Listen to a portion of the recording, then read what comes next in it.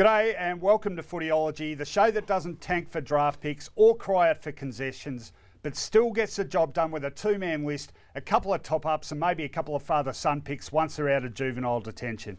I'm Rohan Connolly, with me is my co host Mark Fine, and we're going to dissect the action from round 11 with all the surgical precision of a year 8 science class cutting up a sheep's brain. That means there'll be a bit of grey matter spilling out, but a lot more red as we poke around the bits we're not supposed to, causing those in our sights to turn the air blue. We've got all the latest AFL news with Jon Pierik, the reporter who doesn't just break the big stories but smashes them into barely recognisable fragments. We've got rounds of our lives, keyboard Q&A, the credibility ladder and the rant off. Any more and we'd have to go overtime pinch Gerard Whateley's thesaurus and dramatic intonation and borrow that voiceover guy who sounds like he's just come off the set of The Man from Snowy River Part 6. But we'll save that sort of wankery for the others. Instead, I'll just say good day to you, Finey, and throw you an opening line that you'll completely ignore and say whatever you feel like. Hello, Rohan. Oh, my voice. How are you, Rohan? Oh, I'm okay. How are you? Yeah, no, I'm well. You've got well. a bit of the mid-season slump going on. Oh, my football team does. Yes, how about, they do. How about a bad weekend for a few football clubs. St Our football clubs. Well, St Kilda, Essendon, Richmond, Collingwood. Essendon and St Kilda not great expectations. Richmond and Collingwood season done, and um, the lowest attendance for what 25 years. Well, winter winter did finally turn up, didn't it? Not a great weekend for the establishment clubs. Good one for the interstate clubs. Good one for some, uh, let's say, precocious uh, heirs apparent to the throne. Did you, did, did you think we'd see a, crowd of less than 5,000 at a game of AFL footy? Again? No, no, it reminded me, actually reminded me of a game, uh, I did a St Kilda Fitzroy game at Victoria Park back in 1985. I went to that game. So few people there that the ball went over the fence and Leon Harris had to jump the fence and get it yeah. himself. No, I, I was, and St Kilda, Kilda won. How pathetic are we? We're going to go back 30 years for some decent memories. Oh, let me tell you, if Alan Sidebottom played in a winning team, those were rare days. I remember them. Um, yeah, it was a bad weekend for our teams, wasn't it? I mean, we both hanging on by their fingernails. Essendon bridge. Uh, the rest of the season looks like a bridge too far for Essendon, and I reckon their one chance of winning another game might be against St Kilda. Yeah, happy to get it over and done with. So we are just about halfway through the season, and unlike Game of Thrones, in round 11, winter actually did finally arrive with a vengeance. There was no gratuitous nudity, but plenty of drama nonetheless. So let's look at the highs and lows in hot or not.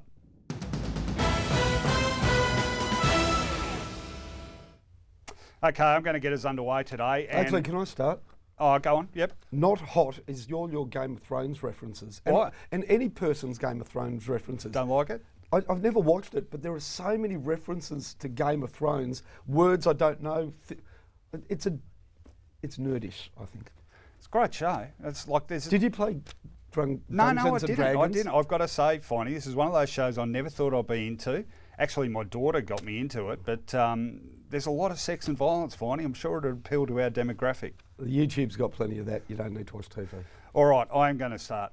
Uh, very positive note. Now, not for Essendon, who got smashed by Fremantle over at the main stadium, but what a fantastic moment when, well, not when Ryan Crowley ripped his hamstring. That wasn't so good for him. But when he came off the ground, I love the spot. Goes, leads into the pocket. Oop, oop, there goes the string straight away. You knew it was in trouble. But he gets up and he walks around the boundary now. If we can just speed up this footage, Benny Hill style, that'd be good and the crowd rose as one to their feet and gave, here we go, one of the most heartfelt things I've actually seen at a footy game. Uh, now they never got the chance to say goodbye to him because of that rather untimely suspension, and he's been he was a fantastic player for the Dockers. Yeah, I, I don't remember him being just such a crowd favourite. I mean, they love him. Well, he, he did so many effective jobs for them. I, I, just think it was great to see, and you know, and he played well for them on on Saturday night as well, didn't he? for yeah. Fremantle. Yeah, probably. That's a bit harsh. But I mean, look, sp- spontaneity is a thing there isn't a lot of in football anymore. So I just thought it was a great gesture. Your turn. Well, I've got a, a hot that is very much a player who's had wretched luck, hasn't he, over the last couple of years, Tom Rockliff. Mm. Now, he has come back. He has had 48 possessions, 13 clearances, nine marks, a goal, 13 score involvements, which for Brisbane's like 30 for anybody else. And, you know, and Mitch Robinson actually played a really good game as well. He kept Bryce Gibbs out. I reckon they had two of the three best players on the field and didn't get close. But Doesn't say much for the other 20, does it? uh, it says where they are in football terms. But gee, Tom Rockliff, don't forget how good a footballer he is. Any luck with consistent football, and he's one of the best in the comp midfielders. Ah, good call, good call. Okay, a not for me next, and uh, it's been a good year for GWS. The last fortnight, they've had two difficult games on the road and lost both of them with honour, but in particular, their tall forwards. Now, we've been raving about them most of the year, but boy, have they struggled in these defeats. Cameron, Lobb, and Patton. Uh, the Giants have kicked a total of 27 goals in the last two games. They've kicked a total of three of those 27. Now, difficult conditions, admittedly, but you've got to be better than that. You've got to at least be competitive. Now, we see a rare mark by Patton there. I suppose we're going to show all the good bits now, are we? Shouldn't take long. This is a good bit. Have Coat hanger. No, Yeah. yep. But you've got to be better than that, even even in, in sort of greasy, wet conditions. Otherwise, you can't play three tall. So The just not productive enough. I, I agree. Um, the reason I said a good bit, if Lindsay Thomas did that, is that a week? he, he was harshly done by. Just, Oh, yeah. just, just in looking at it, it reminded me that there are players at AFL level who have a target on their back, I reckon. Yeah, no, up there with them. Yours? I'm, I'm leaving the AFL. Can I do that? Oh, yeah. Why Did not? you see State of Origin? Uh, I saw the end of it. Yeah, so Sam Thaiday gets. Um, I he- saw this. He gets he, he gets a microphone thrust in his face after the game. I think we got some footage of it. Let's have a look. How was I that. Sam? Oh, there it is. Yeah, it was a bit like uh, losing your virginity. Uh, it wasn't uh, very nice, but we got the job done. Now, I'm not sure if I've got a second question. I actually Oldie All right, bit of goodie. uh, I actually played it on my radio win. show afterwards. Um, got alerted by a listener. I thought I, nothing wrong with it. It got hijacked by the thought police. Now he was talking about his own loss of virginity, and women's groups came out and immediately took umbrage at the suggestion that he was referring to a woman's loss Was of it women's groups or Christian groups? Uh, there was uh, there was reference to uh, offensive to women, but whatever it is, honestly, eh, the thought police out there and the splinter groups, the special interests, the marginalised in society have got a platform with social media, and quite frankly, Sam, say whatever you want, and the rest of you go stuff yourself. Yeah, the outrage industry's uh, certainly working overtime. I'm these days. outraged at them. Okay, my last one, uh, and I'll make it quick. It's a hot and a very big hot to North Melbourne, who copped it really after that loss to Sydney. A lot of people saying, "Oh, I told you so." They're not up to it. Well, wasn't this a great response? And in adversity, not only did they lose their best player, Todd Goldstein, everyone's saying he was critical to their performance, they lost their coach. Did you hear what happened after they lost their coach? Uh, quickly, no. They shortened dramatically with the bookmakers. Oh, did they? Thanks, says Brad Scott. Anyway, look, it was a fantastic performance, very thorough, all round the ground. Uh, midfield was strong. Boomer Harvey, what a marvel. And uh, right back in the premiership race. So we're never out of it, really, but a great retort to all those people who doubted them. And, Yours. And Dor played well. Mine is a, a bugbear of mine. Um, you know the the supers or graphics that appear on our football coverage. Up in the top left hand corner. That's yeah. right. I cannot stand the way our game is being portrayed as a points battle. Yep. 57 versus 56. Well, It- let's have a look. Have we got an example here? Quickly. No, just no, keep talking. it doesn't tell the tale. It's there were two games on the weekend that were absolutely. Oh, there we go. Here it is. G- GWS are, are taking on Geelong. Yep. Now- GWS 26, Geelong now- 15. Was that Rory Lobb? Um, defying your theory. Um, the points is a total, but our game is goals, behinds, and points. Yep. And Geelong and Hawthorn both had a domination on the scoreboard based on scoring shots. Now, So it didn't tell the true picture, is your point. Hawthorn were five points ahead, but they were Yep. something like 10 scoring shots ahead. I understand that point. However, it's our game and it's not points. However, those of us with uh, very basic knowledge of mathematics, I think, need the. Uh, t- we, we can't take it all in in that little glance at the screen. There's a good reason I did humanities and not maths and science. In grade two, I got I got a teacher's award for the times table of six. Oh, I did. I knew six times table because of footy. Okay, well, six eights of 48, I think. Time for a short break, and when we come back, our news handle will be here with all the latest, not to mention a better dress code and greater sense of decorum than Finey and I could ever manage. But first, let's catch up with all around 11 post game press conferences where Grant Dickinson continues to have every AFL coach ducking for cover and screaming how the hell they let this guy in when he asks the pressing questions. You've got into the habit of eating team sheets every time you have a loss away. If this keeps going, you're going to get pretty fat, aren't you? Uh, I haven't thought about it. No, I'm still digesting this game, but um,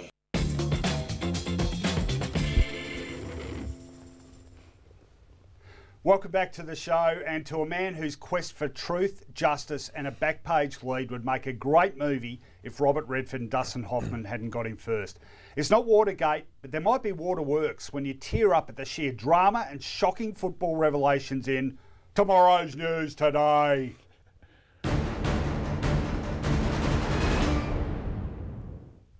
G'day, JP, and sorry, I just had to get that All the President's Men reference in. We've had our own version of that, I think, in recent years, haven't we? Bombersgate.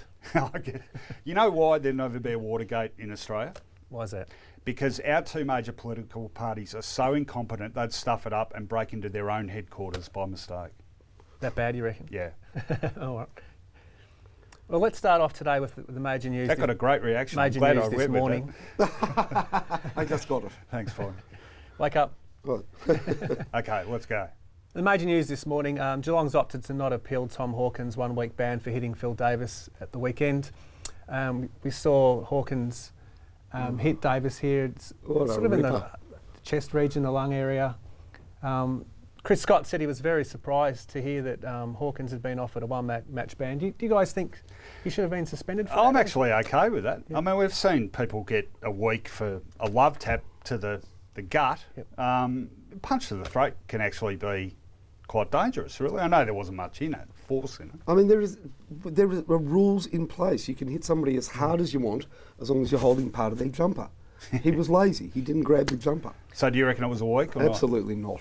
Not. Nah, Phil Davis put it on then, wanted to get milk a free kick. There was no Yeah. way that constituted enough force. And I thought this year we were going on doctor's report, medical reports. Mm. What was the medical report there? Poor acting, do not apply for end of season Well, you're review. sounding like someone punched you in the throat today. Well, if they, if they had appealed, they would have risked two weeks, and uh, Tom would have missed potentially the game against the Dogs. but players are told so not to, you know, not to make head-high contact with opponents. He barely did. Yeah, I know. It was but- silly though. You just can't do that. Yeah, overall fine. Oh, what? It wasn't over. It wa- was wasn't overall, which is a pity. McDonald-Tipungwuti was lucky. Yeah, probably. Yeah, no, agree with that one. Carlton's good season has continued with a w- win over the Lions at the weekend, although the Lions were deplorable. As for the Blues, they've won six of their past seven, and they now look like they're going to apply for some Friday night games next Oh, year. no. Here we go. They Not had six last year, Oh, they were ruined- belted they by an average of 75 points. God. but this year they're playing attacking football, looking pretty good. Guys, you reckon they should put in for a couple next season? Oh, I think a lot of us are still scarred by that experience in 2015, Jon. I mean, as Friday night footy, it was a great advertisement for whatever's on Channel 9 and 10. They're not the only team that don't have Friday night games this year. Melbourne being one. Like, do you think they should be? Yeah, are yeah, they worthy of a game or two Yeah. next Mel- year? Melbourne's Melbourne's Yep. gr- gradual climb seems to be more likely to be sustained next year. But I mean, God, they just do not get it, do they, Carlton? There's a lot to atone for. But Carlton just don't get it. This is a rebuild, and they've had a great half a mm. season. Yep. It's not over. It, it, the re, this is a process. So they're ready after Friday night football. Next thing you know, they'll want to buy North Melbourne again. Well, Steven Trigg, in, in fairness to him, has said you know it's a long process. He feels like they've just left the station at the moment, so Yeah, but yeah. they understand where they're really at. They've so just left the station. So why are they trying to pull into Flinders Street with Friday night footy? nothing wrong with a game or two. Mm. Did you do you Guns think? N' Roses had a song for them. It was called Patience, and they, they should show a bit of it. True, true. Do you feel the, the like, uh, Gary Ablett hasn't played on the Friday night stage for for several years now? Do you think we've missed something him not being on, the, on that marquee Uh, night of the year? No? That's all right. No. But yeah, Next. he's been the best player though for a few years. No, he years. has. Yeah, Yeah, no, several look, it's a years. fair like, question. player But I mean, if, years. if you do you put, I mean, look, it comes down to team versus Te- it is a individual. team sport it? still, Yeah. isn't it? People go to see teams. They don't go to see individual players.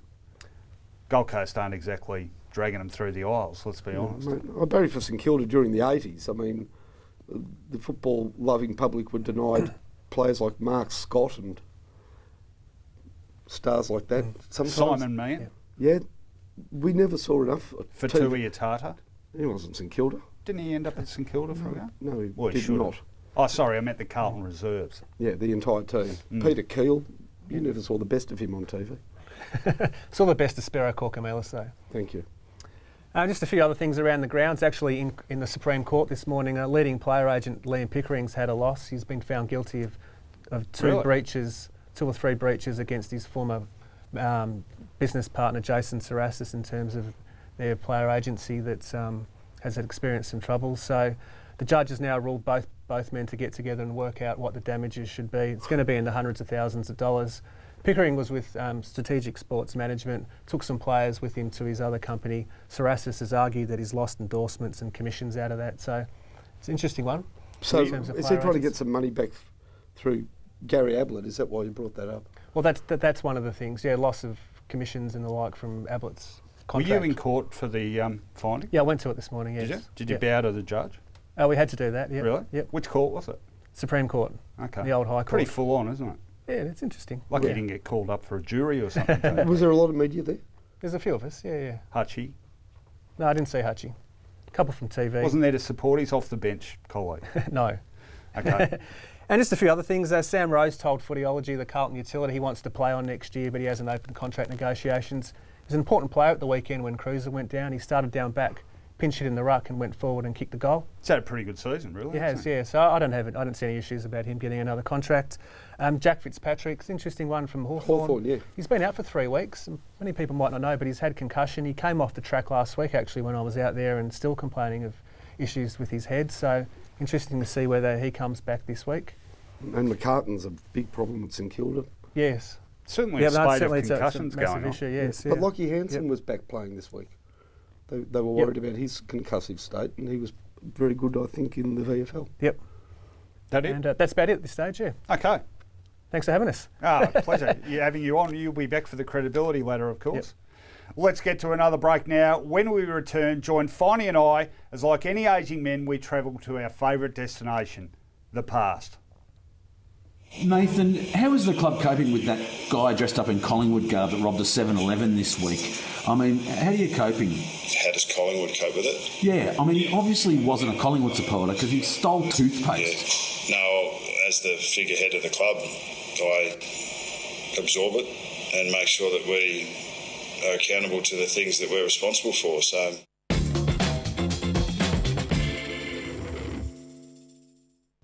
Welcome back, and we had an amazing reaction to our new segment last week, particularly from Malcolm Blight, who was delighted to watch himself kicking the winning goal back in 1976, and not so delighted with his to camera piece by candlelight when the lights went out at Waverley 20 years later. Well, round 11 over the years has thrown up some memorable moments in football history. Let's get all wistful together because, like dried mud falling from the stops of a well worn puma, so are the rounds of our lives.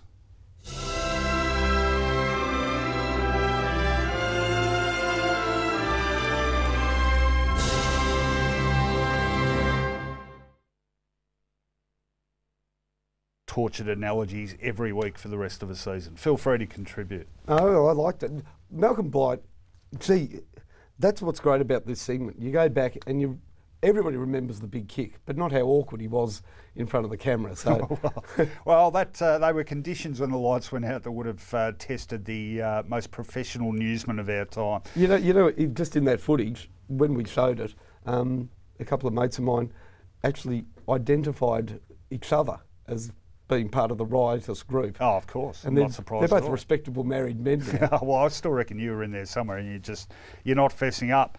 Our journey back through time starts today at Windy Hill in 1991, and yes, I'm so old I can say I was covering this game. Essendon versus Melbourne. Scores are tight. Right in the final few seconds, let's throw to the action. Melbourne have got to get a clean possession and kick a goal to draw it. Clark caught high. Free kick. Six seconds remaining. now they need a for- mark. You'll have to go a torpedo punt. So Siren will go. It has. Can Stephen Clark kick the goal from 55 metres out? Well, some people on the ground already. It's unfair. Let's see if Clark has got to poise, maintain his concentration. Really chaos here now. The longer he waits, the harder it's going to be to police this. Yeah, Madden and Flood has sprinted from the full forward line and try and bottle up that, po that pocket and square area. Clark, torpedo, Oh, good kicks kick. it magnificently. Will it get there? Oh no, it's been touched. It's been touched. And have a look at that for a chaotic scene. How can you give a score now? Unbelievable scenes here. Not good enough, really, is it? There's some crowd in the fight too. I reckon years from now we'll be talking about incidents like that, and people will say, "Oh, back in the dim, distant past," but it, actually doesn't feel like that long ago. And amazing scenes. I remember Melbourne were filthy about it, but you know, Essendon had about 28 players on the mark there with half the crowd, and Stephen Clark, uh, the late Like, Stephen yeah, Clark, very sad. Played for St Kilda and Essendon as well and as Essendon, yep, uh, could have played in the '85 Premiership side, but. Beautiful kick. Yeah, yeah. Well, look, he gave it a real nudge, but uh, you know it's a bit difficult when you've got to kick over about 88 people on the And, mark. and that's what he said. He sort of went to kick it, and he wasn't complaining about the guy on the mark. I reckon there was must have been a kid there. There was another kid dragging a gammy leg. well, remember the famous footage of uh, Kerry Good winning the night grand final for um, North Melbourne against Glenn. Collingwood. There, there's several people almost diving across his boot. Was Glenn Archer one of them? Yeah, wasn't yeah, he ran out there as a Collingwood supporter. Uh, good start. Anyway, well, that's where we start. That was our number five. We're actually voting and, and ranking them every week now. So we, number we four. just rank anything on this program. Yeah, don't oh, why not? You know, we're all, uh, hey, we work for a newspaper, mate. We only want to know about listicles these days. Number four is the mark of, oh, no, in fact, I don't think it was. Should have been the mark of the year in 2001. And it's Chris Tarrant playing for Collingwood against Melbourne at the MCG. Check this out. Collingwood have responded by putting Dimartina in the forward pocket, trying to drag Way Woden away from the play. Block his kick inside the 50. Big That's a great one. over the top. What a mark. Could well be the mark of the year, that one. Chris Tarrant. Huge leap. Came down the front of the pack as if it were a waterfall. The Royal Decree has it that this is definitely the mark of the year. I haven't seen anybody up that high for some time. So this is a cracker. Certainly wasn't a soft landing, was it? Always a good sign of how high the blokes come when it takes him about five minutes to recover. You know- I'm just you know- trying to remember what was the mark of the year in 2001. I can't remember. You know that what he did there would go on a couple of years later, I think, to be outlawed by the AFL.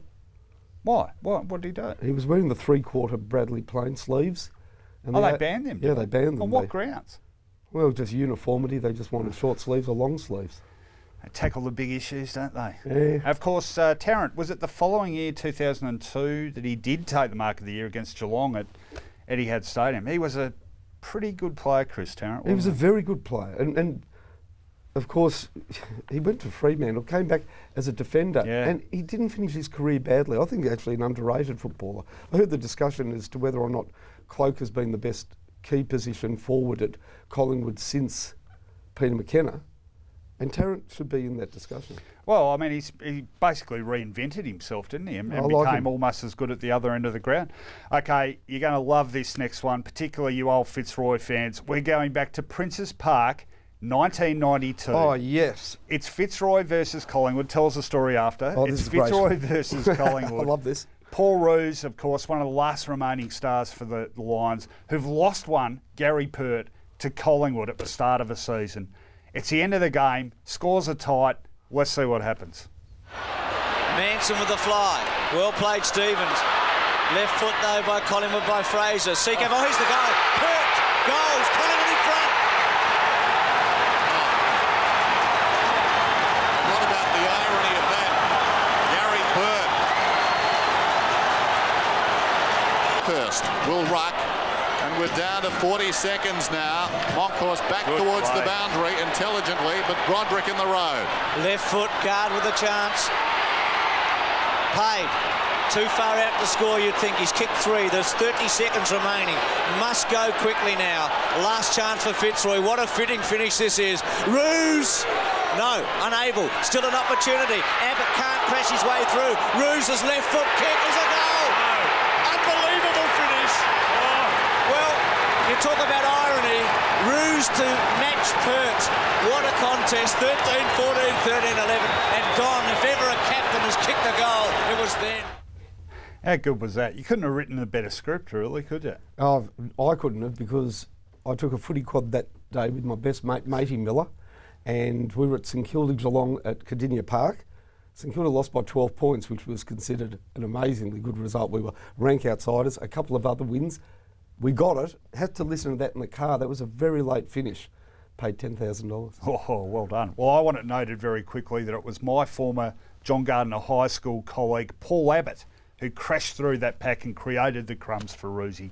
Jeremy to kick Gard, the winning goal. Gard kicked the ball in. He did. He did. Um, there's some blasts from the past. Okay, let's move on to number two. Another memorable finish. This time from the 21st century. We're going to Eddie Etihad Stadium, 2002. The hapless Carlton. Can they finally get a win? It looks like they might pinch one. They're playing Geelong, and unfortunately for them, the Cats have other ideas. It's given the Blues the lead. They lead it by two points. The Blues flood back. 26 seconds remaining in the contest.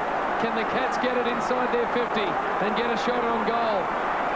A blistering final term from the Blues. They trailed a reminder by 37 points at three-quarter time.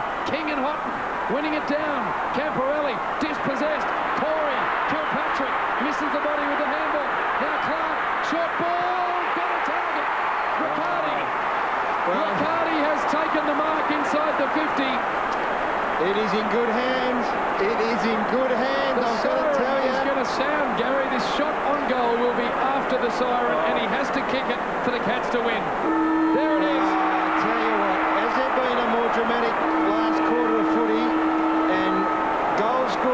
The siren have been invoked.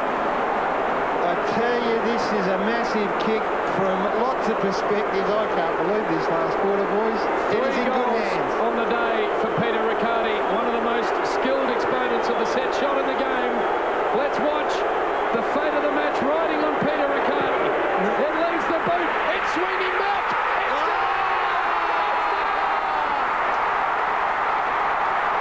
The Cats have stolen victory from the jaws of defeated Colonial Stadium. What a Great finish. stuff. Oh, How's it, was the, fa- it was fantastic. how's the outswing on the ball? I, that was another one I was in the press box for. The outswing on the ball came off his boot. Looked like it was going out in the full. Well, it didn't just come off his boot; it was smothered. yeah, well, That he got too close to the man on the mark, and footage shows clearly the ball being touched off the mark. And of course, Finey, had it happened this season, we would have gone to the video review and the guy would have gone, result inconclusive, Actually- umpire's call. I, I know that's what normally happens, but there was clearly the fingers being bent back. Do you reckon? When you watch something like that, you know, I've got one word for that result. What? Camporeale. I mean, that ball got tapped out in the middle, 20 seconds to go, straight to him. And hello to Stephen Silvagni if you're watching too. Michael Long, 1993 Grand Final. Still love it. Okay, let's go to the number one moment. Now, we, we do take the you know what a fair bit on this show, but this is one of the great moments in footy history. The year is 2003. Jason McCartney, of course, has Oh, been yeah. a victim of the Bali bombings and uh, was in real danger of losing his life. Recovered very courageously and somehow managed to get himself back to a stage where he's ready to play for North Melbourne again. They play Richmond in a big Friday night game, and this is how it unfolded in the last quarter. Let's have a look. Body by Robbins, clever. Got it to Grant, ran into trouble, taken down by Bowden. Brown again, got it to King. Penetrating kick inside the 50. McCartney behind. And McCartney has taken the mark. And listen to that roar. And look,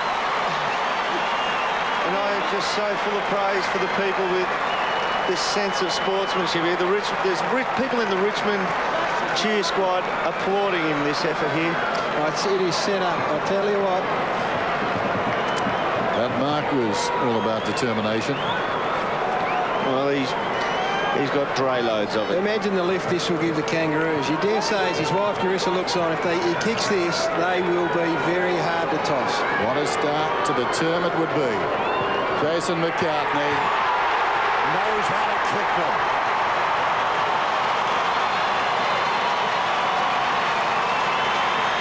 Bounced alongside him, a companion. He kicks inside the 50. Gatterwood's full forward runs the ball. McCartney toe pokes it. Picked up by Harding. He goes in. Another lead change. Pace of Harding once again. Once again, Leigh Harding can split things open. He can break the game with his pace here, but Jason McCartney just had the sense. Yeah, I suppose uh, this is no better time than uh, I think I've used up every inch of uh, my determination through my fitness and uh, I suppose mental effort and uh, I find it fitting now that I'll uh, hang the boots up as of tonight and go out on a great note. Because I'm spent, it's been a tough time, but that's enough for me, mate. What a great way to go out. I still remember the shock I felt as he announced his retirement there on the Yeah, spot. Yeah, look, some narratives ascribed to football, uh, tortured and schmaltzy, and this is he was the embodiment of the survival and the fighting spirit of the worst attack on Australians, non non wartime attack in the history of our nation. I mean, this was a, a tragic event, and his courage to get back out there, he physically to get out there had to endure enormous amount of um, with skin grafts, Mm. enormous amount of pain. He shouldn't have really played in that game. And fairy tales do happen sometimes, and that was one of them. Uh, That- that ripping, great- ripping, ripping bloke, and uh, still involved in, in AFL football too. So uh, yeah, look, a, a wonderful story, and like you say, those spontaneous moments, they're the moments that I think stick with you the longest. Little kid from nil Yeah. amounted to a whole lot. Great stuff. Time to return to the here and now, sadly. But when we do, we're set to log in and load up our Twitter app with all your footy questions and our fumbling responses. Hold the door! Hold the door! Hold the door! Pardon? Hold the door! Hold the door! It's from Game of, did you watch Game of Thrones last week? I missed that. I walked off. I didn't see that.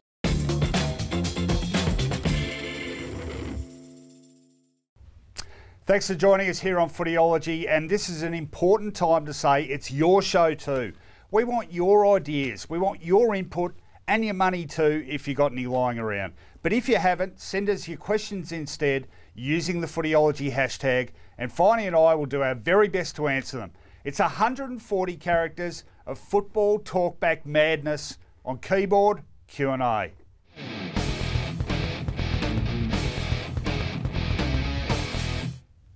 Now, I've got a massive bone to pick with you. At this very time, on this very show Yes. last week, you vowed, Mark Fine, that you would tweet something that afternoon. Did you tweet something No, that afternoon? I did no. not tweet. Have you tweeted something since? No, I have not tweeted. So, how many days are we up to now? Must be 26 days. I have mitigating circumstances. What were they?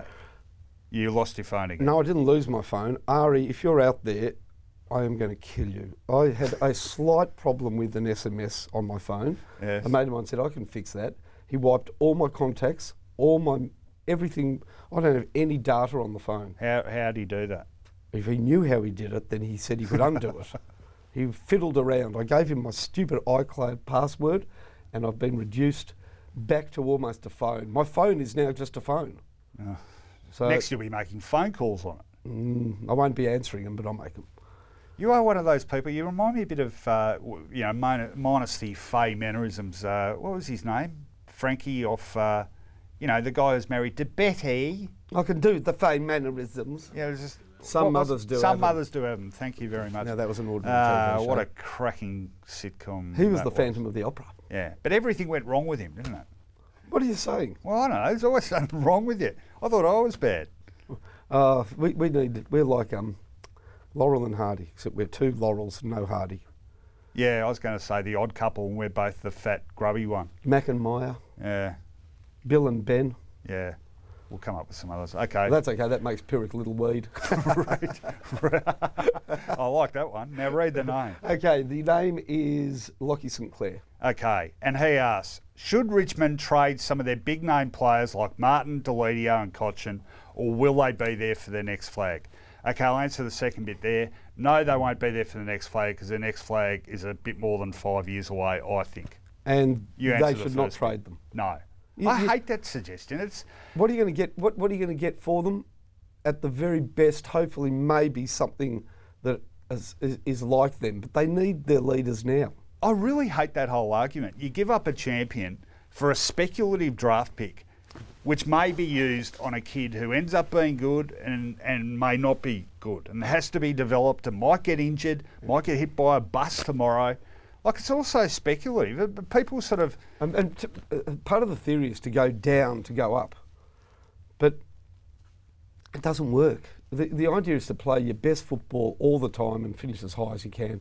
How about the how about the talk during the week about a lottery for the draft? Oh no, no, don't start me on this one. Oh, it's, it's insane. Well, what about Gerard Healy saying during the week Carlton could be uh, doing themselves a disservice if they finish mid-table? Yeah, it's ridiculous. Like what? You do yourself a disservice if you confuse your footballers by making them unsure if you want to win. That lottery for a draft. No, is- no, no. I just want to explain something about it. There's no real incentive to finish on the bottom. Who know? You know, there's no priority pick. But if you put a lottery for the last four teams, believe me, then the team who finishes fifth bottom, it is worth tanking. Yeah, yeah, I know. You just move the problem somewhere else. Okay, Yeah. we're getting the wind up here. Let's get on with the next tweet. Who's it from? It is from Frankie. Frankie, and he asks, Tom Hawkins getting a week was fair. You can't hit people in the throat. Discuss.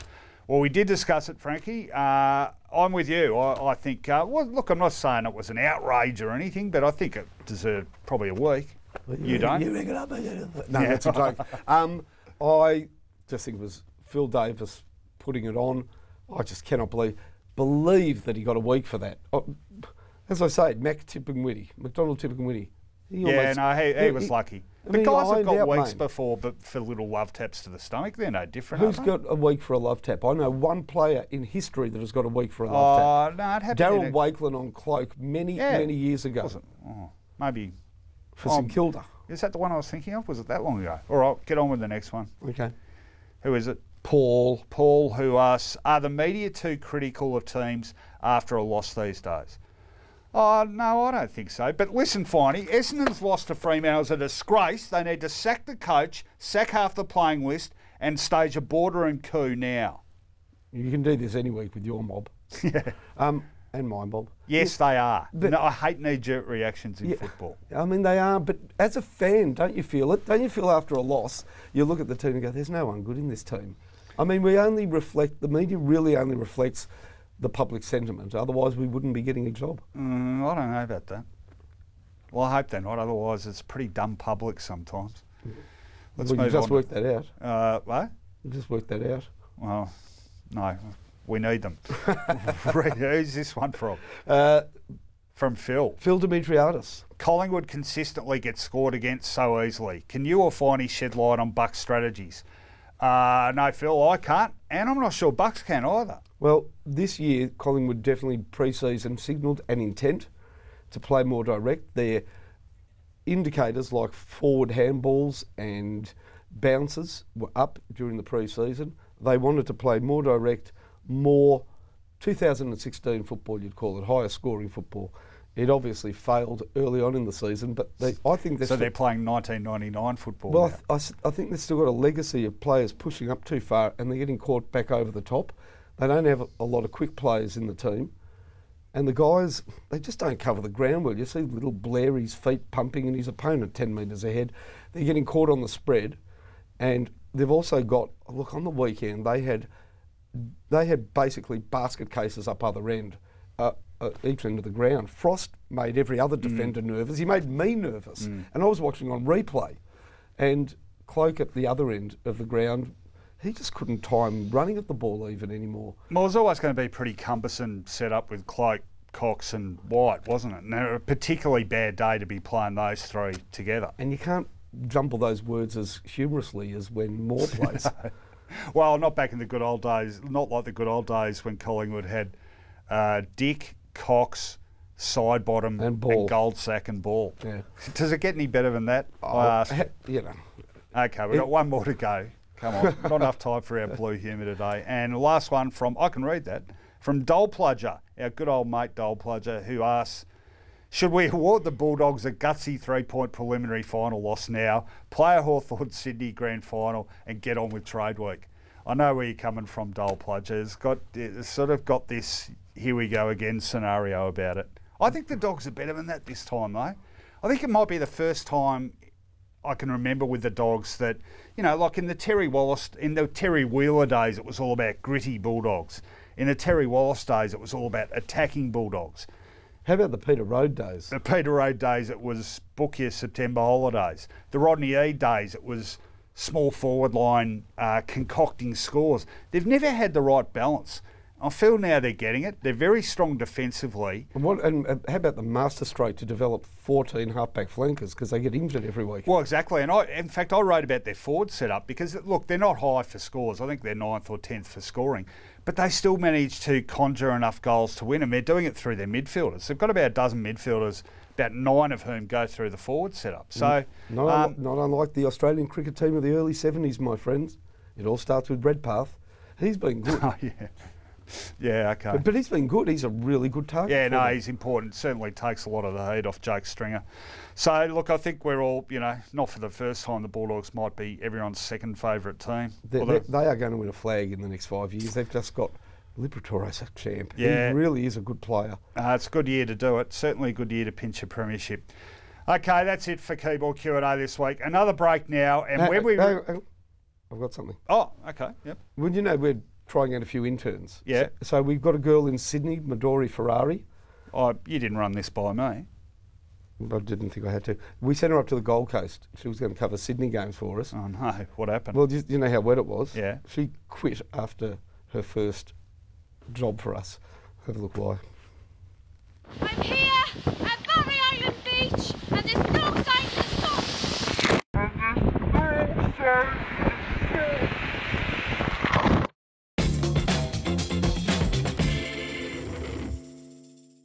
We've got Culture Club playing in concert this week. You're their number one fan. Are you excited? Yeah, but I try to ignore those feelings. I mean, I think that is human nature. Uh, the, the supporter in you comes out a little bit. Welcome back. Well, we've really started something with this next concept. There's no pat on the back for limping over the line or doing it in second gear here on Footyology. We demand 100% effort 100% of the time. Refuse to give till it hurts, and we'll hurt you on the credibility ladder.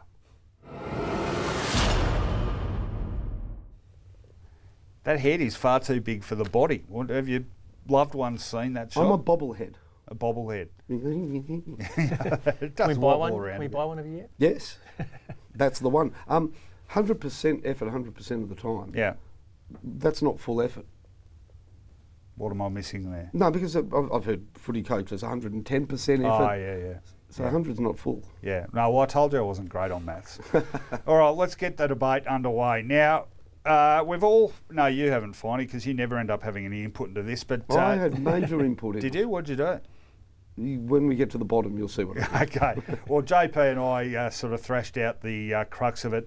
We're going to start at the top today. I think there's a very worthy debate to be had this week about who takes top spot on a credibility ladder. I'll give you three cases. The case of North Melbourne, a great response to that loss in Sydney, without their coach, without Todd Goldstein, told Todd Goldstein.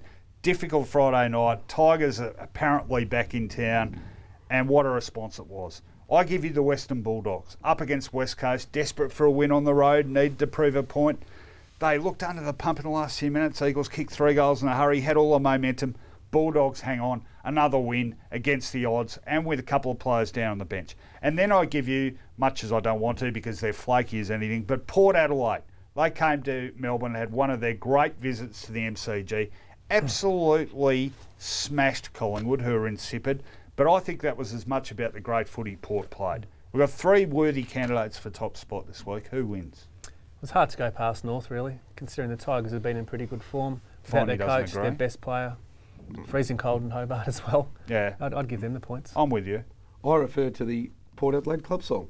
Yeah. We'll never stop, stop, stop Till we drop, drop, drop of the credibility ladder. I thought it was a great win. They just humiliated Collingwood and um, did it at a ground that they're not particularly adept at most of the time. I thought Port.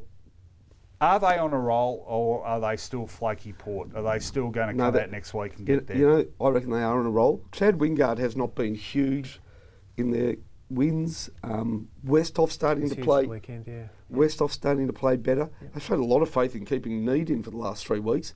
He repaid that faith. All of a sudden, there's a bit of depth there. What they what they have done is they've picked up two players. One was on their list. You know, Aaron Young wanted to come back home, and no club was interested in him. St Kilda said, "No, don't bother." How's how good's he going? goals, yeah. Yeah. And Darcy Byrne, Darcy Byrne Jones, is he being mentioned for the Rising Star at all? Uh, he not got nominated last week. Um, so, But to win it, he's going as good as Parish, and people are talking about Parish. Okay, well, executive decision here. I'm We're going going with off. North on top, Western Bulldogs second, and we are going into Adelaide, so we want you people over there to know this isn't just a token gesture, but we are putting Port third this week. The Encouragement Award, call it. Are we being shown at the cinemas there? Which cinemas? I don't know. They've got. I didn't know they had a lot of TV stations. I mean, Really? we, we might be movie tone news. Okay, I hope there's not a boring short beforehand. Okay, next bracket of teams. Now I'm going to zip through those. We've got Geelong next. That was a pretty good win against the Giants. I know it was on Very their, good. their home fortress, but they saw it to get the job done, and they did. We're going with the loser next, and we're going with the side Geelong beat, GWS. Yes, they uh, conceded far more inside 50s, but they hung in there. Uh, apart from those tall forwards, they hung in there. So I've got them next. Next in order, Adelaide, smash St Kilda. Melbourne, uh, reasonable hang in their job against Hawthorn, I thought. Um, so they've actually finished higher than the side that beat them, which some people might say is odd, but this is a credibility ladder. And next we've got Carlton, who got the job done against Brisbane. I really like what you've done there Yeah. with GWS because they went there. Look, they were going to get bullied early. That was the plan at Simonds Stadium. Treat them like kids, make them think that they're back in year one or two, and they stood up to it. Uh, uh, well played. Okay, uh, zip through the next bit. Uh, we seem to zip through this segment a lot. Sydney, Hawthorn, West Coast, Fremantle, Gold Coast, Essendon. Could be a bit high, the Bombers there. That wasn't my doing. Okay, bottom four. Nominations are the stinkers of the week Brisbane, St Kilda, Richmond, and Collingwood. Well, we didn't expect much from the Bombers anyway, so No, so Saints. But they didn't. same every Essendon didn't do better than Brisbane. Uh, no, I didn't think the so. The Lions were deplorable though. No, he, Their he's first got 15 minutes of Pierik's football was the this worst one. Yeah. I've You've got it about in for 15 Brisbane, years. Pierik. You The hate tactics Brisbane, Jon Pierik. shocking. St Kilda, Just wanna look back. terrible. They knew that they were going interstate again. They had problems. They had to gird their loins. Loins were not girded. Betts barely got a kick, and they should have lost by 100. Worst team of the week. Okay, Richmond, Collingwood, which was worse? They're the same club. I don't Well, the know Pies needed to Pies needed to make a stand, didn't they? Yep. Do you Against the good they team worse? in Melbourne, and they just Tigers didn't, or didn't Pies show worse? Worse for Collingwood. Yep. Because And- Richmond had, a, they did have player shortages on the night. Funny you mention that. That's the way we've gone. We're not putting it up back up on screen now. Richmond, Collingwood. Maybe we should just lock it in the bottom two spots for a while. Oh, there it is again. Yeah, Brisbane, St Kilda, Richmond, Collingwood. Hey, that Trelaw decision, it's line ball, isn't it? Well, hasn't done either of them many favours, really. Uh, that's it for this week. Thank you very much, JP. Back to court for you. Yeah, it's a pleasure. Don't get mistaken for a barrister and Justice Rowan. get involved in a. Court is off adjourned. With your court. Plead mitigating circumstances. Tell them you work for the age. Might need a job soon. Time for our final break now. Don't go anywhere though, because our final segment is so full of evangelical fire and brimstone. They're queuing up to watch it in America's deep south without even knowing what on earth we're talking about. Adam, this is becoming a bit of a soap opera, not winning on the road, but it wouldn't be called home and away, would it? It'd just be called home. Yeah, and that's that's pretty obvious.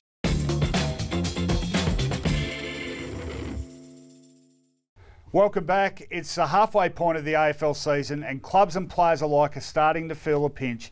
But there's no pacing yourself when it comes to manufactured football fury. And if there isn't enough outrage to be had, finding an aisle created by God, it's time to unleash the hounds of hell on the footyology rant off.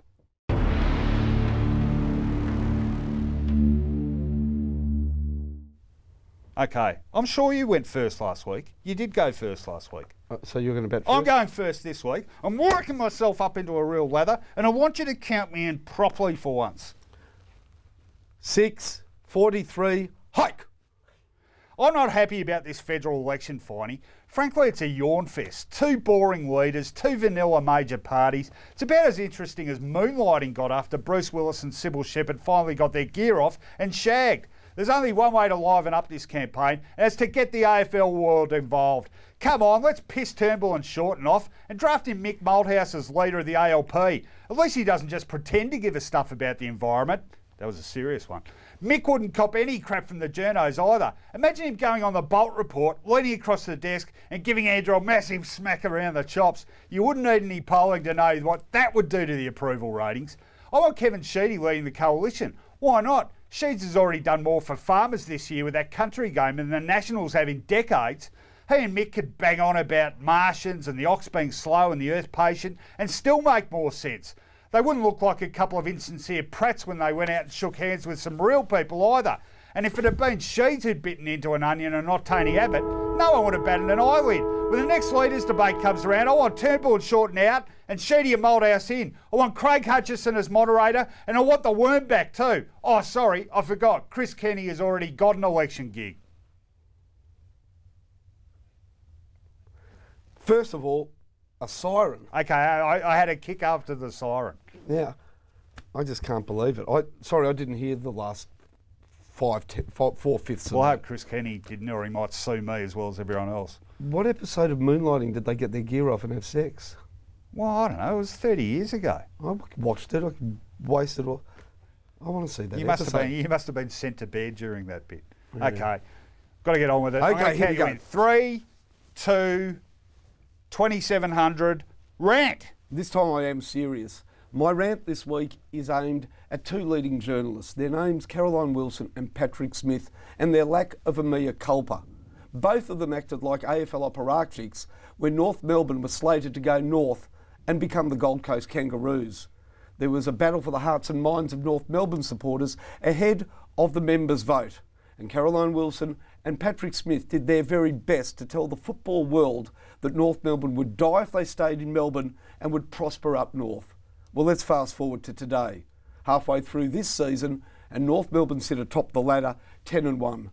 They play down in Tasmania, just signed a new multi year, multi million dollar deal, don't get any revenue from pokies, and stand profitable and powerful. And Gold Coast, 4,300 people turned up on the weekend to see a team that couldn't have beaten a Reuben Pellerman collective of meter maids and 80 year old retired Jewish Melburnians and Sydney siders. The fact is, you were wrong, Patrick and Caroline. You don't know how to apologise. You don't know which horse to back in a two horse race. And if your reputation stood on that big decision, then it would be in tatters today. And it might just be. Whew, that was uh, that was actually quite serious and very well delivered, Finey. And I have to say, I, I did sort of take up the cudgels a bit in print with Caro on that story. So I am with you. Or as John Kennedy used to put it, normally I'd say no comment, but on this subject I say absolutely no comment. There you go. Uh, Very th- good rant. This one's worth a vote too. Okay, quick. How do we vote? You simply vote by Google Maps has got on board. They said that they want to help us. Get onto your roof and write Roco or Finey in large MASH 4077 type letters on your roof, and the next Google Maps will expose who had the better rant. Do, do, do.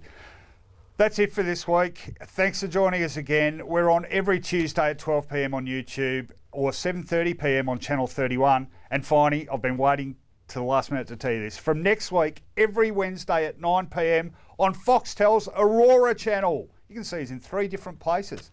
And remember, everyone, as the Drifters famously put it, under the boardwalk, down by the sea, got me ciggies, got me six pack. I'll be watching Footyology.